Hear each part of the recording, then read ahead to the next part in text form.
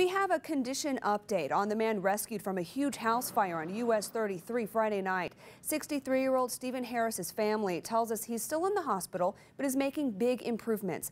Harris's family is also thanking a Churubusco firefighter for for pulling him from the flames. I sat down with that firefighter earlier today. He's a humble man doing a job he loves and a man many call a hero. Ben Rinker stays busy with three boys and his dream job. It's just a passion, you know, you love helping people. A volunteer firefighter with the Churubusco Smith Township Fire Department. Then Friday night, a fire he'll never forget. Rinker and his family were driving into Fort Wayne on US 33. We drove through the smoke is when I first realized it. A house on fire. Without hesitation, he pulled over. And before I knew it, he was out of the car and gone into the darkness. Rinker's training took over. I looked into the structure and I seen um, a man laying face down, but I saw his arm move.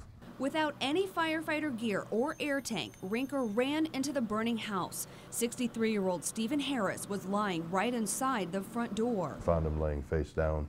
I picked him up. Fire was coming out of the door where the man was. I mean, it was fire rolling over the top of us. Just as Rinker had disappeared into the smoke, he reappeared back at his van. Holding this gentleman, cradling him like a little baby. Rinker left Harris with his wife to go back and make sure no one else was still inside the house. The fire was too intense to go in any further, but fortunately, Harris was the only one home at the time. Uh, he had guardian angels or what, but he was laying in fire. You know, the debris that was had fallen down from the, the ceiling and stuff was on the ground and he was laying in it. The Rinkers and Harris's family say a higher power was at work that night. The Rinkers were running late for their appointment and should have driven by 45 minutes earlier. God's timing for me to be where I was at at that time. And Rinker's bravery heroic. It's kind of humbling, you know. I really don't know what to say.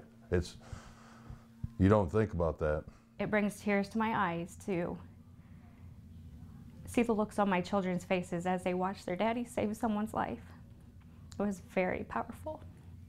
Those boys dreaming to grow up to be like their daddy and one day be firefighters too. They just keep saying, I can't believe daddy went into that fire in his street clothes and brought that man out.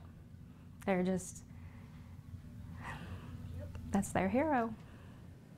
The Harris family hopes to somehow honor Rinker. The cause of that fire is still under investigation. Greg said you can expect more snow throughout the day. News Channel 15's Alyssa Ivanson is checking on those road conditions this morning. She is live near Illinois and Hillegas. Hello, Alyssa.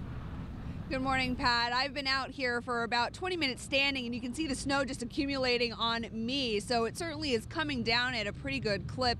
My photographer and I have been driving around Fort Wayne for about the last hour, and we've really seen a big difference in road conditions in just that hour. Let's take a look at this intersection here at Illinois and Hillegas. This is the live look.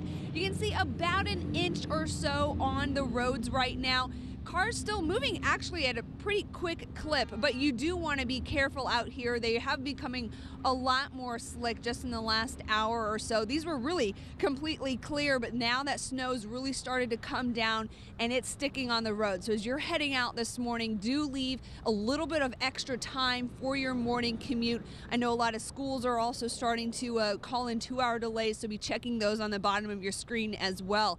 Now, as far as traffic conditions, if we've seen any crashes from this so far. Let's send it into Tina Harris with Traffic Tracker 15. She's tracking that. Good morning, Tina. Good.